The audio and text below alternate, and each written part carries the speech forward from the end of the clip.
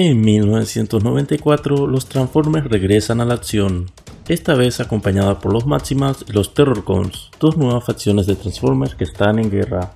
Los Maximals son un grupo de Transformers que luchan por la justicia y la libertad, mientras que los Terrorcons son un grupo de Transformers que luchan por el poder y la dominación.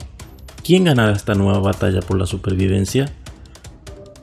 Bienvenidos a Stay, el lugar donde te quedas a disfrutar del resumen de una buena película. Hoy nos adentraremos de lleno en una historia repleta de robots gigantescos y mucha acción en Transformers Rise of the Beast, conocida en español como Transformers, el despertar de las bestias. Un grupo de bestias robóticas corre a través del bosque huyendo de su enemigo.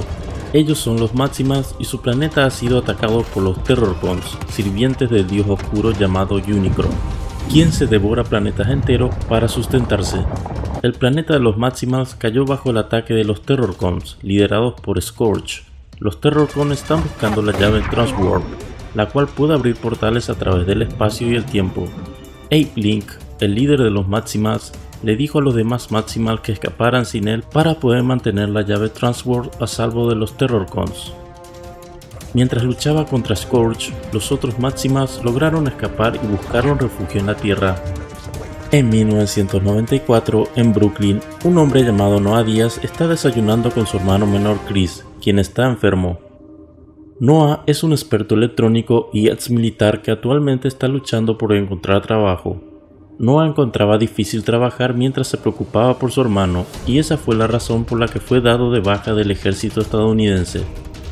Desde que perdió su empleo, él y su madre han estado luchando para pagar las facturas del hospital de Chris y llevan tres meses de retraso. Mientras tanto, Elena Wallace, una encargada de museo, entró al museo donde trabaja y vio una estatua antigua recién llegada de lo que parecía ser un halcón. Observó al halcón y vio un símbolo extraño, el símbolo maximal, con un texto igual de extraño debajo. La gerente del museo le dijo que los investigadores piensan que se trata de un Horus del quinto milenio antes de Cristo, pero Elena sabía que lo escrito en la estatua del halcón no era un jeroglífico, escribió el texto extraño que vio en la misma y comenzó a investigar por su cuenta. Noah fue rechazado nuevamente en el trabajo donde lo estaban solicitando y desesperado aceptó cuando su amigo Rick le dijo que robara un auto para venderlo. Noah se metió en el estacionamiento donde se encontraba el auto gris que buscaba, un Porsche 911. Tuvo dificultades para abrir el auto porque se bloqueaba cada vez que Noah lo desbloqueaba. Finalmente, Noah logró abrir el auto y vio el símbolo de los Autobots en el volante del vehículo. Al mismo tiempo, Elena seguía estudiando la estatua del halcón cuando de repente se rompió en pedazos, revelando la mitad de la llave Transworld escondida dentro del halcón. Dicha llave emitió un pulso de energía al cielo, el líder de los Autobots, Optimus Prime, detectó el pulso de energía y convocó a los demás Autobots, incluido a Mirage, el automóvil que Noah intentaba robar, quien resulta ser un Autobot. Noah, que estaba dentro del auto, escuchó la voz de Optimus Prime a través de la radio y pensó que el auto estaba fallando. Decidió renunciar a robarlo e intentó salir del vehículo, pero la puerta estaba bloqueada y no pudo abrirla. De repente, Mirage arrancó, asustando a Noah, quien pensó que el auto estaba poseído y se conducía solo. Los autos de la policía comenzaron a perseguir a Noah y cuando uno de ellos casi logra hacer volcar el auto, Noah le dice al vehículo que hiciera algo, lo cual Mirage hizo de manera sorprendente, asustando a Noah al mismo tiempo.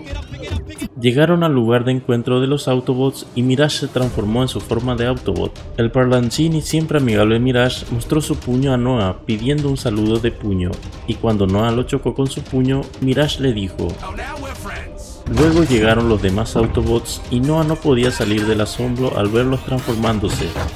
Optimus Prime no estaba contento de ver a un humano con miras, quien se defendió afirmando que el humano ya estaba dentro suyo cuando él los convocó e incluso lo remedó al decir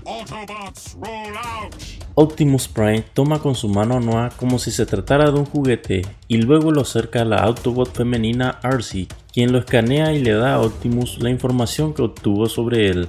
Optimus Prime colocó a Noah en un entrepiso metálico por un tiempo mientras hablaban sobre el pulso de energía. Optimus les habla a los Autobots sobre la llave Transwarp y cómo podría ayudarlos a regresar a su hogar en Cybertron. pero para obtener la llave necesitan una forma silenciosa de entrar al museo para evitar llamar la atención de los humanos y no ser perseguidos. Mirage tuvo una idea y era que Noah robara la llave para ellos. Tanto Optimus Prime como Noah estuvieron en desacuerdo. Pero cuando Mirage le dijo a Noah que podría ayudarla a obtener dinero, Noah accedió a hacerlo. Elena todavía estaba trabajando en el museo cuando de repente la llave Transworld brilló y los Terrorcons llegaron. Noah se infiltró en el museo mientras que Elena se estaba preparando para irse. Cuando ella tomó la llave Transworld, justo Noah llega para robársela. Noah le dijo que le entregara la llave, pero Elena simplemente lo evitaba. Los Terrorcons escanearon el museo y cuando vieron dónde estaba la llave dispararon contra la pared del museo. Al ver esto, Elena entregó la llave Transworld a Noah y huyó. Scourge envió a los Predacons para recuperar la llave de Noah justo cuando los Autobots llegaron. Mientras los Autobots luchaban contra los Terrorcons, Noah y Elena huían de los Predacons. Salieron corriendo del museo mientras los Autobots descubrían, pero Nightbeard, la Terrorcon ninja, lanzó una bomba frente a Noah y Elena, que explotó e hizo volar a ambos. Noah soltó accidentalmente la llave Transwarp y Nightbeard la tomó, Mientras tanto, Optimus Prime estaba perdiendo la batalla contra Scourge, y justo cuando estaba a punto de acabar con él, Bumblebee intervino, pero rápidamente fue apuñalado por Scourge. Optimus Prime gritó mientras veía a Scourge disparando a Bumblebee y matándolo. Los Terrorcons se apoderaron de la llave Transwarp y Air Racer, la máxima Halcón, llegó para llevar a los Autobots y a los dos humanos a un lugar más seguro, una vez allí, vemos a un enfadado y dolido Optimus Prime lanzando cosas debido a la muerte de Bumblebee. Racer se presentó y les contó lo que sucedió en su planeta de origen. Les contó sobre los Terrorcons y Unicron. También le dijo a los Autobots que la llave que Scorch tomó era solo la mitad de la llave Transworld completa y que la otra mitad estaba escondida en algún lugar de la Tierra. Ella les dice que no sabía si los Terrorcons ya habían logrado o no tener la otra mitad. Lo que sí sabía es que la usarían para abrir los portales que permitirán a Unicron ingresar a diferentes planetas y devorarlos. Elena declaró saber dónde está la otra mitad. Símbolos similares a los que ella vio en la estatua del halcón solo se registraron en el Templo del Sol de los Incas en Cusco, Perú. Noah Deseando ayudar a detener a Unicron de destruir la Tierra, le dijo a Optimus Prime que iría con ellos, diciéndole Siendo Elena quien sabía sobre el templo en Perú, ella también fue aceptada para guiarlos hasta allí. Mirage llevó a Noah de regreso a casa para que empacara y se despidiera de Chris. Debido a la torpeza de Mirage, rompió otro automóvil y Chris lo oyó. Mirage rápidamente se transformó en un automóvil, pero de alguna manera Chris supo que era un robot, así que volvió a su forma de Autobot. Noah le confesó a Chris que iba a ir con los Autobots para salvar el planeta, y como no podía ir con ellos, Chris le pidió a Mirage al día siguiente fueron al lugar de encuentro donde se encontraron con Stratosphere, un Autobot capaz de transformarse en avión. Durante el vuelo, Noah y Elena se conocieron mejor mientras que los Autobots permanecían en silencio. Arcee preguntó, pero Optimus Prime dice,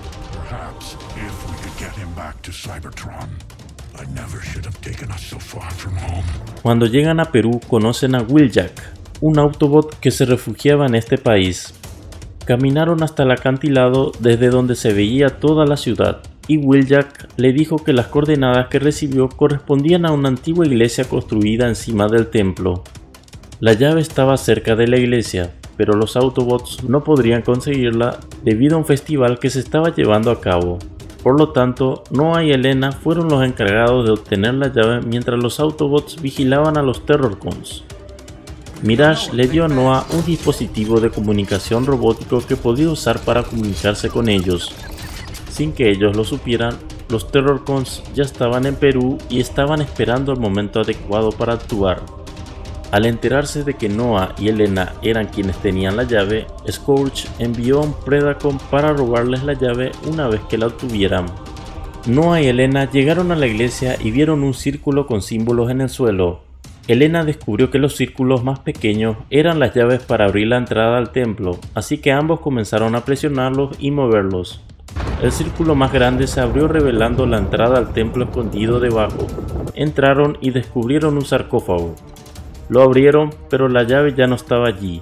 Lo único que vieron fue un símbolo similar al que Elena vio en la estatua del halcón. Elena lo anotó y de repente escucharon un ruido. Noah miró hacia la dirección de donde venía el sonido y cuando volvió a mirar a Elena vio al Predacon detrás de ella. Ambos salieron corriendo y Noah llamó a Mirage. El Predacon se abalanzó sobre ambos y cuando Noah extendió el brazo para bloquearlo, de alguna manera el dispositivo que Mirage le dio disparó automáticamente al Predacon. Los Terrorcons persiguieron a los Autobots, con Scourge centrándose en Optimus Prime. Racer llegó y empezó a disparar rayos de fuego en el puente ubicado en la ladera de la montaña, cuando los Autobots llegaron al otro lado para evitar que los Terrorcons los alcanzaran, Scourge disparó con algo a Eraser, algo que terminó impactando y adhiriéndose a su cuerpo.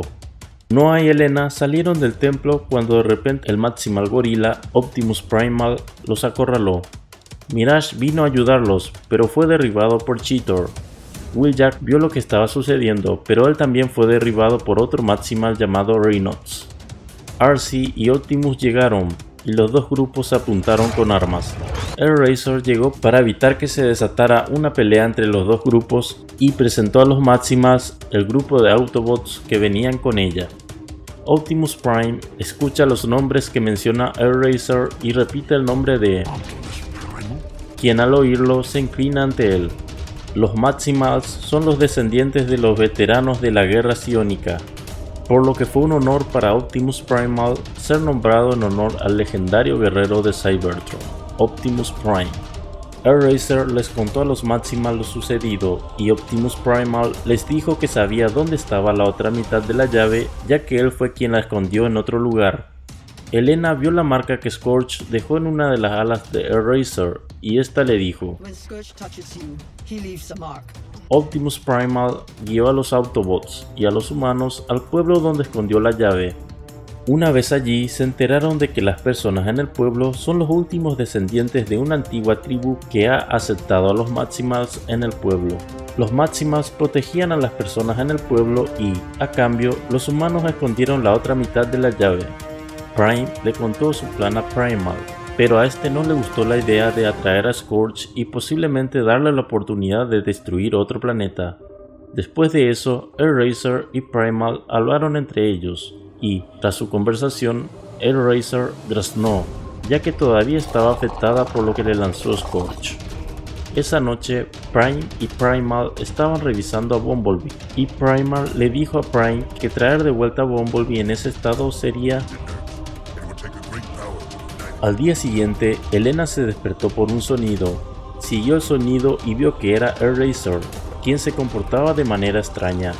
Lo que Scorch le lanzó infectó a Eraser y ya le estaba afectando su mente, lo que permitiría a Scorch controlarla. Prime se colocó frente a Elena para protegerla de Eraser. Prime quería dispararle a Eraser, pero Primal lo detuvo. Luego, Nightbeard apareció repentinamente y atacó a Primal. Noah y Elena huyeron de allí y cuando tuvieron cierta distancia entre ellos y los robots, Noah puso la llave en el suelo y preparó su brazalete para destruirla. Optimus Prime le rogó que no lo hiciera y después de un tiempo Noah se detuvo. Elena se agachó lentamente para tomar la llave antes de que fuera capturada por Eraser. Primal corrió tras ellos y cuando los alcanzó, Eraser ya le había dado la otra mitad de la llave a Scorch. Él ordenó a Eraser que los matara antes de irse, y Eraser atacó a Primal.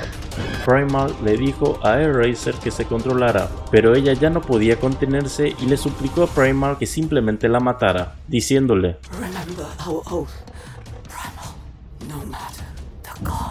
Primal lo hizo con mucho dolor y todos lamentaron su muerte. Mientras tanto, Scorch ya había activado la llave Transworld para abrir los portales. La única forma de detener el proceso era llegar a la llave y utilizar un código instalado hace mucho tiempo como código de resguardo. Los códigos se dividieron en dos junto con las llaves, pero debido a que Racer murió, la segunda mitad de ese código murió con ella. Pero en ese momento, Elena dijo que tenía anotado el código. Los códigos eran los símbolos que Elena vio en la estatua del halcón y en el sacrófago, y al juntarlos ahora tenían el código de acceso completo para detener la apertura de los portales. Así que idearon un plan para atacar a los Terrorcons y distraerlos mientras Noah y Elena se dirigían a los túneles debajo del puente que los llevarían a la antena central. Una vez que llegaran a la antena central podrían usar el código para desactivarla y quitar la llave, para poder cerrar los portales antes de que Unicron pudiera ingresar a la superficie terrestre. Entonces el plan comenzó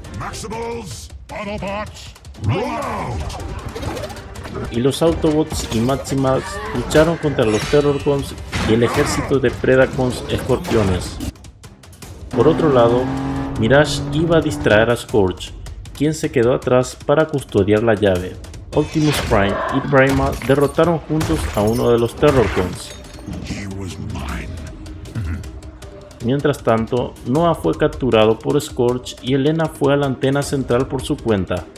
Scorch soltó a Noah cuando Mirage le disparó, y los dos pelearon nuevamente, pero Mirage perdió contra Scorch. Cuando Mirage estaba indefenso, Scorch apuntó a Noah y de repente Mirage se interpuso protegiéndolo, mientras Scorch seguía disparando. Scorch luego envió a un Predacon para detener a Elena, la gente alrededor del mundo se detuvo al ver el cielo oscurecerse y ponerse nublado.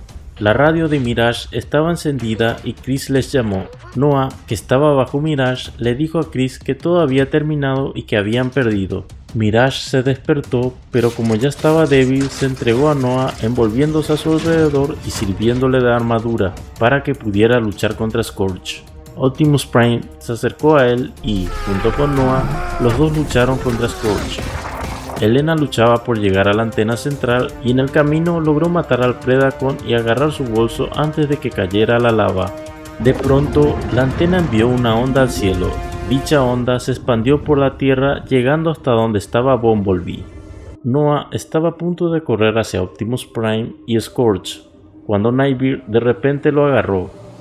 Cheetor, que se había maximizado, lanzó una lanza hacia ellos y golpeó a Nightbeard con ella, Stratosphere volaba por encima de todo el caos, abrió la puerta trasera y apareció Bumblebee, que saltó del avión y atacó desde arriba mientras Optimus Prime se alegraba de volver a verlo con vida. Nightbeard estaba enfadada y voló para pelear contra Bumblebee, pero perdió rápidamente y fue destruida. Optimus Prime ordenó a todos que protegieran el puente y a Lena que cerrara los portales, Bumblebee llevó a Noah al puente y mientras Scorch luchaba contra Optimus Prime, Elena usó el código y lo ingresó con éxito. Sin embargo, Scorch logró destruir el panel justo antes de que Optimus Prime lo matara, evitando así que se cerrara.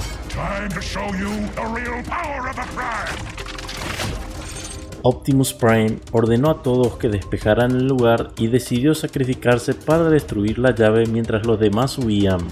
Optimus Primal aprovechó el momento para despedirse y decirle, él le respondió, Unicron le dijo a Optimus Prime, él le respondió y procedió a destruir la llave provocando que el portal colapse. Antes de que Optimus Prime fuera absorbido por el vórtice en implosión, Noah y Primal vinieron a salvarlo, Después del conflicto, los Autobots perdieron la capacidad de regresar a Cybertron, ya que la llave fue destruida. Elena recibió reconocimiento por descubrir el templo en Perú y Noah fue invitado a unirse a la organización secreta del gobierno llamado En una escena después de los créditos, Noah logró reparar a Mirage utilizando las piezas de Porsche que obtuvo de Rick, quien luego se enteró de que Mirage es en realidad un Transformer.